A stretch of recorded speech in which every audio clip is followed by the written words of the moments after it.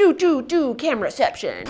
In this video, I'm gonna show you the lightweight and simple kit that I use to film all of my hiking and backpacking content. Cool. Boom, boom, boom. Can you hear that? How cool is that? I am really lucky to get to work with a professional videography team sometimes. Huge shout out and thank you to Abby and Kyle and Chelsea. But a lot of the time, I am just filming videos completely by myself or with my producer, Rainer. And so if we can use this kit to make good looking YouTube videos, then if you are looking to make your own hiking and backpacking content, this should work great for you. Wait a minute. What? That camera over there is what you use to film your videos. Uh-huh. What are we filming on right now? A potato, obviously. This is my show, gosh darn. Let's start by talking about the camera that we use. So this camera here is the Sony ZV-E1 camera. It's very easy to use, the interface is really friendly to beginners, and the camera itself is actually very lightweight. The lens that we have on here is a 24 to 105 lens. If you wanna zoom in, you can go bam. If you're old enough to remember Dramatic Chipmunk, Dun, dun, dun, dun!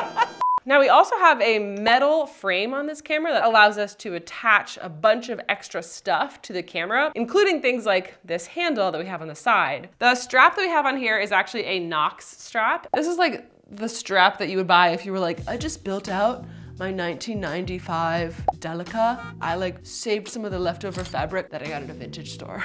The strap that came with this camera was this like really thin, flimsy Sony strap. And so we actually got this one at REI and it is much, much thicker, much more comfortable. Yes. The Sony ZV-E1 is the camera that we use for about 90% of our footage when Rainer and I are filming together, but we also use another camera to supplement that. And that is the GoPro. So we have here Rainer filming on my left. So the GoPro is basically our B camera. And this is basically something that I can use if I wanna like really quickly share some thoughts to camera. Big leaves.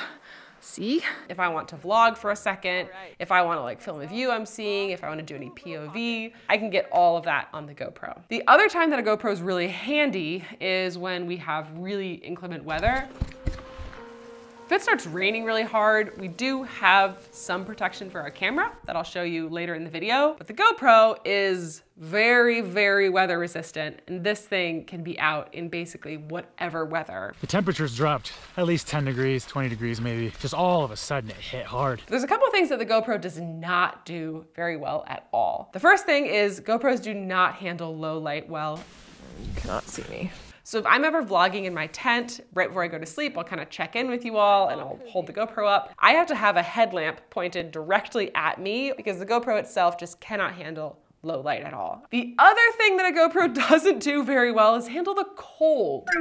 There's a super annoying thing that will happen with GoPros. When it gets cold, the batteries, even if they're at like 60%, will just completely die, even if you're in the middle of filming. And the only way to solve this is actually to take the battery out, warm it up, and then put it back in the camera and start filming again. It's very, very annoying. Water break. So I have gone through a couple different mounts for the GoPro to find the one that I like the best. And this setup that I have right here is definitely my favorite. So I actually have the GoPro Shorty extender tripod stick right here. This Shorty extends this much. So, oh, that. It's very light and it's very small and it makes it super easy for me to film myself. I can hold it out, I can angle the GoPro towards me, it just works really, really well. And then there's also a tripod at the bottom, so this can be set up. It looks like WALL-E. WALL-E. It does. The best thing about it is it's small and it is compact and it is easy to strap this entire contraption, camera and mount, to the shoulder strap of my pack without it getting in the way. So this is that strap.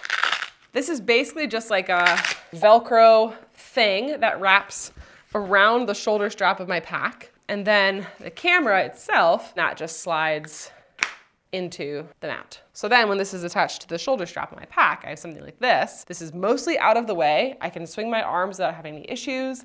It doesn't create a ton of extra bulk on my strap. And uh, it's a really easy way to access the GoPro. You can skip to your loo through fields of daisies.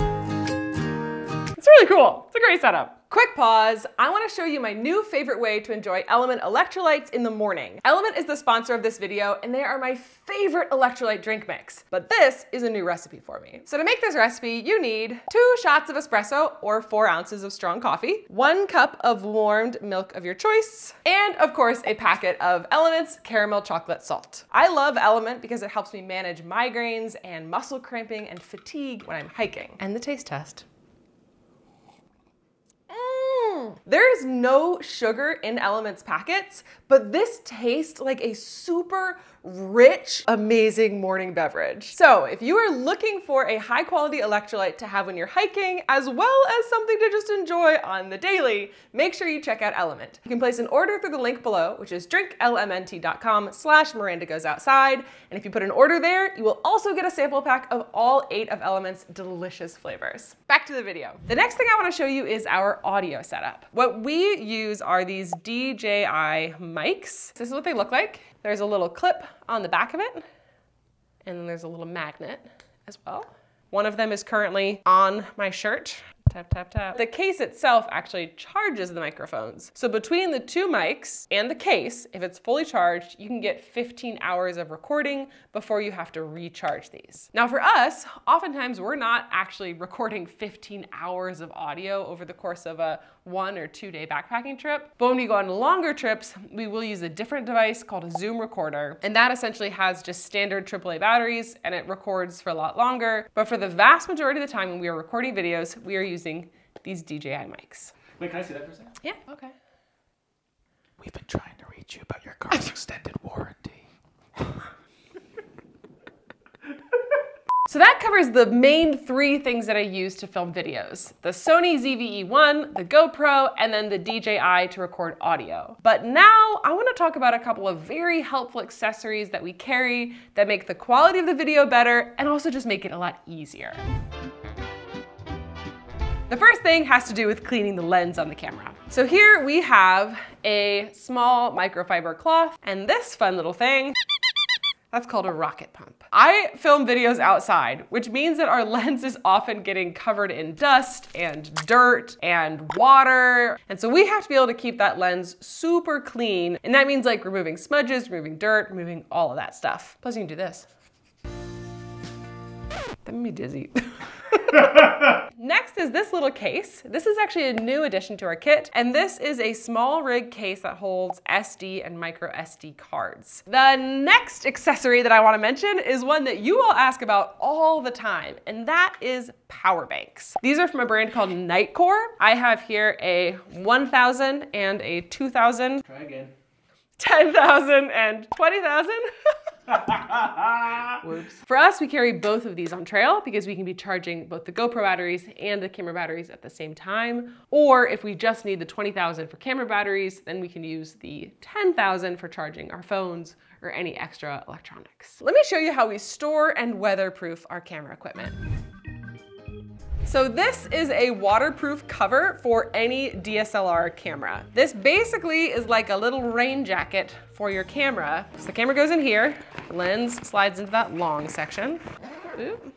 And then this part that goes around the lens, we will push back until it's just wrapped over the lens hood and then tighten it down with this toggle. So now I have the entire camera encased in waterproof material and access all of the buttons on the camera. I can turn it on, I can adjust everything that I need and see it through this clear plastic.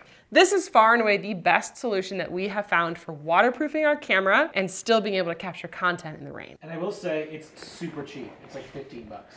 Boom, boom, boom. Plus you look like a dork. Whoa, mom, I gotta worry my drain ticket. So that is a cover that we use for the Sony ZV-E1, but that's not the only electronic that we need to keep dry when the weather gets bad. This is an Osprey three liter waterproof sack, and we can use this to store accessories, our audio, anything like that can go in this bag, and then it just gets rolled down and buckled closed like that, and then this can be stored anywhere in our pack. We also frequently use bags like this one from Hartford Gear Co. Right now in here, I have a Sony battery, a GoPro battery, and I can even put this little SmallRig case in here And I have something that will keep all of the batteries dry and easy to access. This is a Weibo waterproof fanny pack. This is just like such a fantastic way to be able to store batteries, to store cards, have them very easily accessible. I have my cell phone, my snack. and I also have the little mic pack. This fanny pack is actually super spacious, so let me just show you how much we can actually pack into here. Dyneema bag with our batteries in it, microfiber cloth, rocket pump, DJI mic pack, Nitecore power bank. Boom. So that's essentially all of the accessories that we need to have readily available at a moment's notice. It's truly the Mary Poppins bag. The sun behind you is pretty intense. Should we close the blinds? Great. All right. So the next thing I want to mention is actually something that I kind of mentioned earlier in the video, and that is this Peak Designs shoulder strap mount that we use to attach the Sony ZV-E1 to a backpack strap. Allows you to really quickly put the camera away and then also remove it and have it like readily available at a moment's notice. But the reason this is so helpful is that if you ever need to put a camera away, like say we're doing a rock scramble and Rainer needs to put the camera down for a second to use a hand, this little attachment just makes it so easy to attach the camera quickly to a shoulder strap on your pack and have it out of the way for a short amount of time. I want soup. I am down to the final piece of gear that I want to share with you. And this is something that I think is particularly important if you are filming content on your own. That is a tripod. So I have here two different tripods. This is the Joby GorillaPod, and this is the one that we used for a very, very long time with the Sony ZV-E1 camera. We just got a new tripod that actually utilizes something that I already carry in my pack, and that is my trekking poles. This little device turns my trekking poles into a very adjustable and stable tripod. Let me show you how it works. So we have three trekking poles, all adjusted to the same height. We're gonna take this, we're gonna slide it on to the ends of the trekking poles. Ta-da! Now, there's one other modification that I have made to that ultralight tripod, and that is actually to attach a special type of mount on top of it that works in conjunction with this Peak Designs quick clip. Let me show you. This goes right like that. Wow. How cool is that? okay, now if you're looking at this setup behind me and you're like, okay, but that's three trekking poles. I hike alone. I only have two trekking poles with me. The company that makes that ultralight tripod adapter actually also makes an extendable leg that you can buy that's way lighter than carrying an entire tripod on your own. So you basically have like one leg and then you use your two trekking poles and you create a tripod. Cool, right? I hope this video was helpful for you, whether you are getting started creating your own content on YouTube, or if you were just curious about how I film most of my videos. And if you wanna see more about the camera equipment that my crew uses, let me know in the comments below. And as always, if you liked this video, make sure you hit the like button, subscribe to my channel, and hit the notification bell, and I will see you outside. Bye! Producer does not equal videographer, by the way. For everyone who's always wondering what Rainer's job actually is on the channel, he basically just makes sure that videos happen. You're like a nanny. I'm like the Mary Poppins. I was gonna go with the Mrs. Doubtfire, but fine. Mrs. Mary Poppins Doubtfire. Mrs. Mary Doubtfire.